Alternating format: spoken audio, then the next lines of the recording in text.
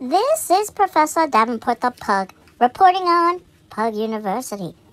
While Salem continues to deal with the aftermath of the Eat a Eat a Lot spell gone awry during their winter break, Pug and aspiring Pug students travel to nearby Boston.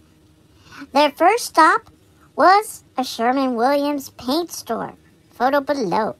Barred from buying any shade of red paint after a past holiday escapade of trying to paint the town red, students purchased color hot pink SW6570 and repainted famous landmarks.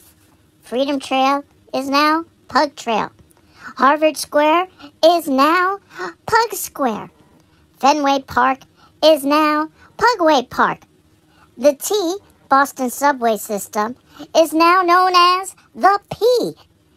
The Swan boats are now the Pug boats. Boston Common is now Pug Common.